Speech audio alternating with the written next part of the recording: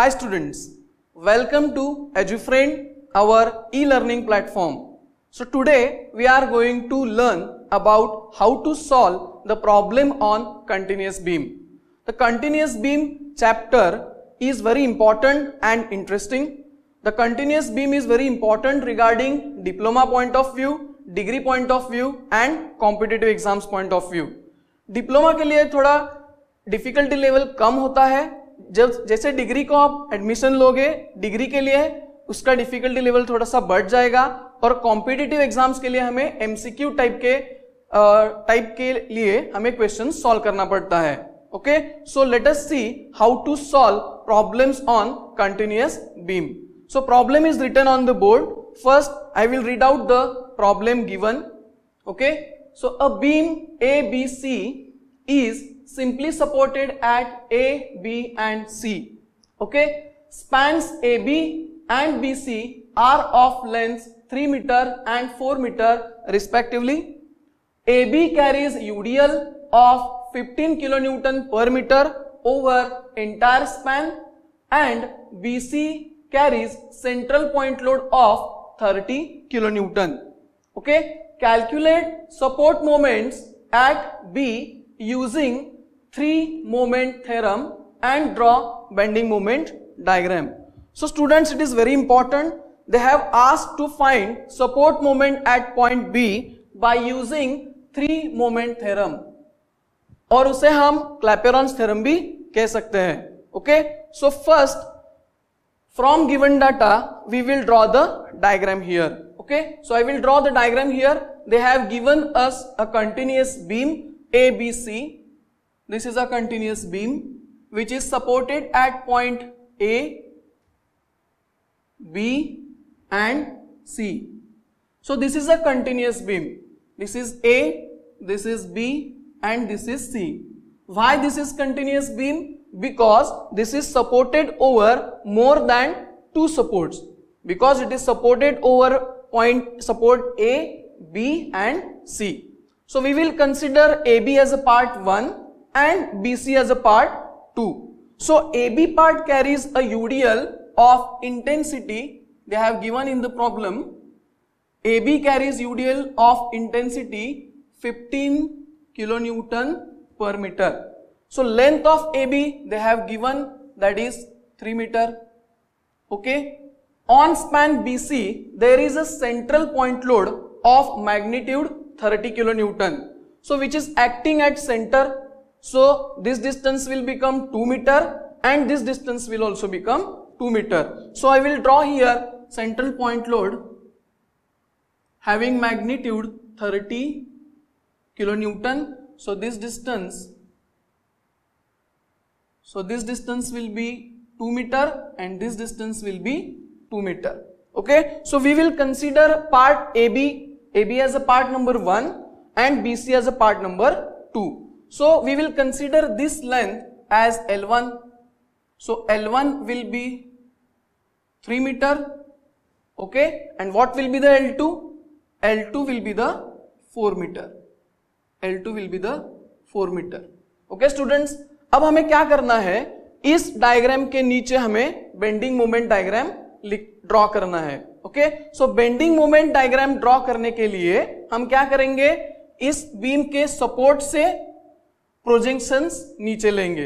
Projections नीचे लेते, लेने से पहले हम यहाँ पे यूडीएल जो है यूडीएल के सेंटर वाले पॉइंट को नाम देंगे। That is A B C this will be D and a point load जो है, इसको हम नाम देंगे ई e. Okay okay? तो प्रोजेक्शंस हम पहले सपोर्ट्स के नीचे लेंगे।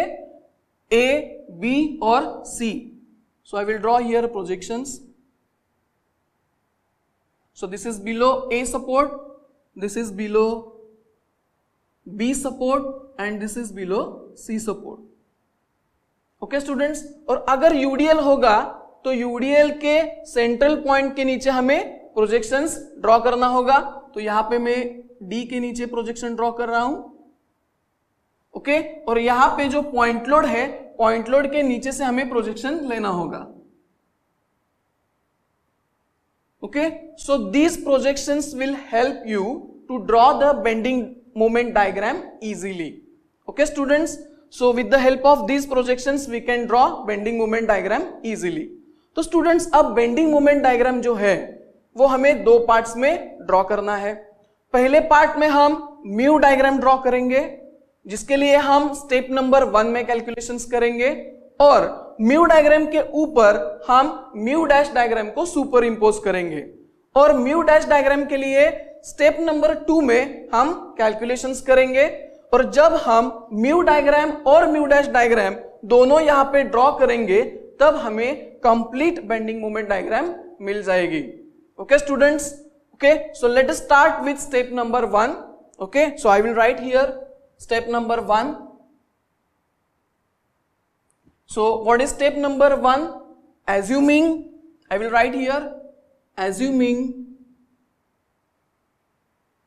each span assuming each span as simply supported beam assuming each span as a simply supported beam find find free bending moment find free bending moment okay okay? So so, यहां पे ये जो beam दिया गया है that beam is continuous over A B and C supports A B के लिए A B और बी सी हम सेपरेट सेपरेट पार्ट्स कंसिडर करेंगे.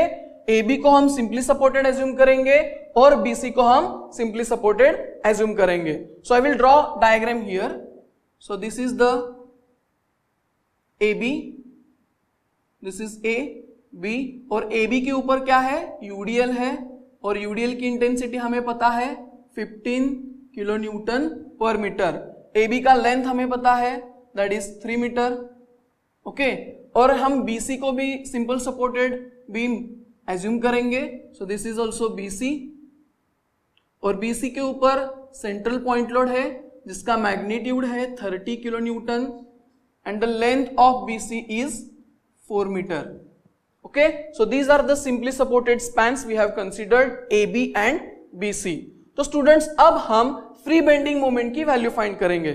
यहाँ पे पॉइंट है D सेंटर पे, और यहाँ पे पॉइंट है E. ओके स्टूडेंट्स तो यहाँ पे जो AB है, ये सिंपल सपोर्ट है which is simple supported over A and B. ये सिंपल सपोर्ट होने के कारण यहाँ पे फ्री बेंडिंग मोमेंट की वैल्यू क्या होगी? ज़ीरो होगी। और एक बात स्टूडेंट्स फ्री बेंडिंग मोमेंट हम स्मॉल एम लेटर से डिनोट करेंगे। ये बहुत ही इंपॉर्टेंट है। आपको याद रखना होगा फ्री बेंडिंग मोमेंट हम स्मॉल एम लेटर से डिनोट करेंगे। So I will write here small M A is equal to small M B is equal to zero zero क्यों? क्योंकि ए और बी क्या है? सिंपल सपोर्टेड है। So at bending moment point D M D will be तो students हमें पता है simply supported beam carrying UDL तो मैक्सिमम बेंडिंग मोमेंट सेंटर में होकर होता है, और उसकी वैल्यू क्या होती है? W L square upon eight W L square upon eight so what is W W क्या है? W is nothing but intensity of UDL वो तो दिया हुआ है that is 15 into L is three square upon eight so after calculating this value, you will get value of MD. So that value will be 16 point, this value, MD will be 16.875 kilonewton meter. So this is the value of MD, free bending moment at point D. Okay, so now we will calculate free bending moment at B, C and E. So as BC is also simple supported, free bending moment at B and C will be 0. So again I will write here small mb is equal to small mc is equal to 0. Why? Because B and C are simple supported. At E, ME, तो हमें पता होगा कि simply supported beam carrying central point load तो maximum free bending moment का होता है? Centre पे ओके तो क्या होगा इसकी value W W L by four so is equal to we know the W W is nothing but magnitude of central point load that is thirty into L is four upon four so we will get value of ME is equal to this 4 4 will get cancelled. So 30 kilonewton metre so this is the value of free bending movement at point E तो यहाँ पे हमने जो free bending movements की value find किया हुआ है with the help of these values we will draw now mu diagram with the help of these free bending movement values we will draw now free bending movement below this continuous beam okay so I will draw here base line I will draw here base line so the base line first draw base line यहाँ पे ये जो point है this point is A this point is B this point is C this is the point D and this is the point E okay तो यहाँ पे bending moment free bending moment at point A क्या है? Zero free bending moment at B क्या है? Zero and free bending moment at C is also zero okay so bending moment free bending moment at point D की value कितनी है? 16.875 so, i will mark that value somewhere here. Somewhere here 16.875 अब हम ये points parabola से join करेंगे. क्यों? क्योंकि ए बी पोर्शन के ऊपर लोडिंग क्या है? यूडीएल है. So I will join these points by parabola like this okay so this is the parabolic shape इसका ऑर्डिनेट कितना है? हमने कैलकुलेट किया हुआ है यहाँ पे। This ordinate is 16.875 kilo newton meter okay अब यहाँ पे हम ड्रॉ करेंगे। Free bending moment at B की वैल्यू ज़ीरो है। Free bending moment at C की वैल्यू ज़ीरो है। So free bending moment at E की वैल्यू हमने फाइंड किया हुआ है that is 30 so I will mark here 30 अब देखो स्टूडेंट्स ये जो 16.875 है तो 30 ऑब्वियसली हमें क्या करना होगा? इससे थोड़ा सा ऊपर ड्रॉ करना होगा ओके तो डायग्राम हमें प्रोपोर्शनेट दिखनी चाहिए. So I will mark 30 somewhere here okay? So, i will join these points by straight line. Why? Because on portion bc there is a central point load so i will join these points by straight line okay so this ordinate is 30 kilo newton meter ये जो diagram है ये mu diagram है तो ये diagram क्या होगी positive होगी so this is the mu diagram we have drawn this mu diagram with the help of values of free bending moment which we have calculated in step number 1 okay? Now our next part is to draw mu dash diagram. And for that we will do calculation in step number 2 okay? So let us see what is step number 2 so our step number 2 is to calculate is to calculate support moments. Is to calculate support moments okay? Step number 2 is to calculate support moments. So students this beam is continuous beam a over a b and c okay? So as a and c are simple supported as a and c are simple supported so support moment at a and c will be 0 so this b is intermediate support this b is intermediate support so this beam this support b will act as a fixed end. So here support moment will arise and for that we have to apply clapeyron's theorem. Okay? So i will write here value of ma capital ma is equal to capital mc is equal to 0 so one more important thing students. We have denoted free bending moment by small m letter and now we are denoting support moments by capital M. ये आपको अच्छी तरह से ध्यान में रखना होगा। Capital M हम सपोर्ट मोमेंट्स के लिए डिनोट करेंगे और स्मॉल m हम फ्री बेंडिंग मोमेंट के लिए डिनोट करेंगे। Okay so M A is equal to M C is equal to zero now as B is intermediate support it will act as a fixed end okay? So, we have to calculate support moment at b. for that, we have to apply clapeyron's theorem. So, now, applying clapeyron's theorem applying Clapeyron theorem और उसे हम three moment theorem भी कह सकते हैं। That is T M T okay for span अब यहाँ पे मैं लिखूँगा for span A B and B C for span A B and B C okay so what is equation equation क्या होगा M A in two L one plus two M B in bracket L1 plus L2 plus MC into bracket L2 is equal to minus in bracket 6 A1 x1 bar upon L1 plus 6 A2 x2 bar upon L2. Okay students, so this is the Clapeyron's theorem which we have applied for span AB and BC.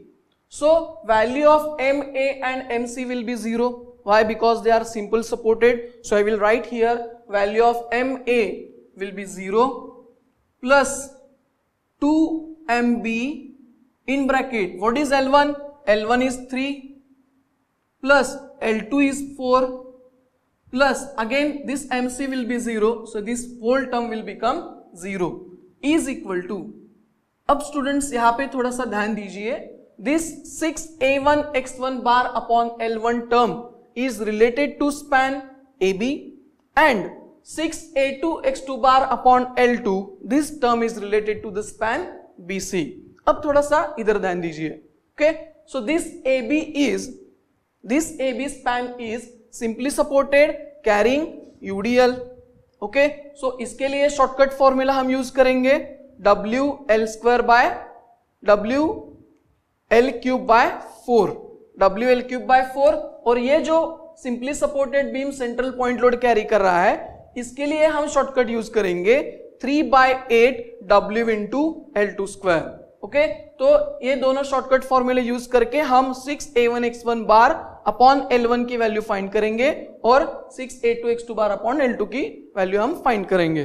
So so, यहाँ पे हम shortcut formula लिखेंगे W L one cube upon four plus ये जो है simply supported beam carrying central point load तो इसके लिए फॉर्मूला है three by eight capital W into W L two square okay students so now I will put the values यहां पे three plus four seven seven into two will be the fourteen M B is equal to is equal to minus so this small w is nothing but intensity of UDL that is given that is 15 into L1 is 3 cube upon 4 plus 3 upon 8 into W is nothing but magnitude of point load, that is 30 into L2 is nothing but 4 square. तो students अब क्या करना है? इस bracket का answer निकालो। कैल्सी के ऊपर टाइप करोगे तो इस ब्रैकेट का आंसर आएगा। और जब इस आंसर को 14 के वैल्यू से जब आप डिवाइड करोगे, तब आपको एम की वैल्यू मिल जाएगी। ओके क्या करना है आपको? इस ब्रैकेट का आंसर फाइंड करना है और इस आंसर को, ये 14 यहाँ पे मल्टीप्लाई है ना? तो यहाँ पे आएगा तो क्या होगा? डिवाइड होगा। तो इस वैल्यू को 14 से जब आप डिवाइड करोगे so you will get value of M B so that value of M B will be after calculation value of M B will be minus twenty point zero nine kilo newton meter. तो यहाँ पे ये जो M B मिला हुआ है that is nothing but support moment at point B okay this is nothing but support moment at point B this negative sign indicates this is hogging bending moment okay students this negative sign what indicates this is hogging bending moment तो students यहाँ पे हमने step number two में क्या क्या करा है? Support moments की वैल्यू को फाइंड किया हुआ है। That is M A M C are zero because they are simple supported and M B is equal to minus twenty point zero nine kilo newton meter अब with the help of these three values we will draw now mu dash diagram over there okay so we will draw mu dash diagram here okay? So, i will draw mu dash diagram by black ink. Okay? So at a this is 0 at c this is 0 but at b we have got something value that is minus 20.09 kilonewton meter तो students ये जो ordinate है ये 16.875 है ये जो ordinate है ये 30 किलो न्यूटन मीटर है तो माइनस ट्वेंटी हमें 16.875 से थोड़ा सा ऊपर और 30 से थोड़ा नीचे मार्क करना है okay. So, I will mark that value somewhere here okay and now I will join these points by straight line okay. So, MA 0 after that I will join MB and then I will join MC. Clear students? So, this ordinate is this ordinate is MB which is 20.09 kilonewton meter. Okay so this black diagram indicates mu dash diagram and this blue diagram indicates mu diagram okay तो यहाँ पे ये जो portion आपको दिखाई दे रहा है this is the portion of mu diagram okay this is the portion of only mu diagram so i will consider it as a positive okay i will consider it as a positive So this portion is only of mu dash diagram. So I will consider it as a negative. So I will hash this portion.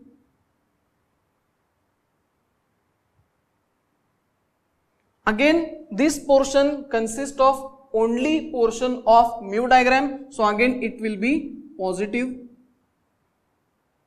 Okay, I will hash this portion positive. अब students यहाँ पे क्या होगा? यहाँ पे ये जो दो पोर्शन आपको दिखाई दे रहे हैं this is common portion of mu diagram and mu dash diagram जबकि म्यू डायग्राम पॉजिटिव है म्यू डैश डायग्राम निगेटिव है तो यहाँ पे वैल्यूज़ क्या हो गए कैंसल आउट हो गए plus and minus will get cancel out so after drawing mu diagram and mu dash diagram this is your complete bending moment diagram for this continuous beam A, B and C.